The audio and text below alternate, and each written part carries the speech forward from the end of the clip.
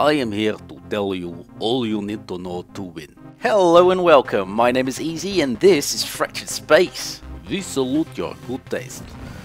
Missiles, do you like missiles?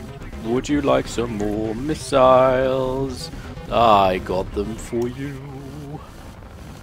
If you want something that is fast and kills enemies with blink of eye, we have Enforcer for you. You point your gun at enemies, Enforcer does magic trick, enemies go poof with big explosion. Anyone else jumping in? Yes, someone else is jumping in in fact.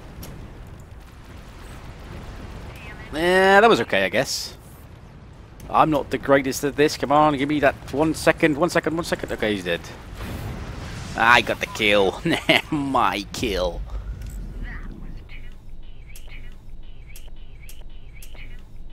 Now the main gimmick for this ship, apart from the cloak, is the Graviton anchor which pairs very well with the pulsar charge. This thing has a magazine system with four charges and every single charge that hits an enemy slows down. I hope you enjoyed this video, leave a like if you did and subscribe if you want to see more.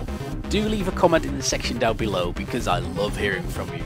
And I hope to see you all again next time in Fractured Space.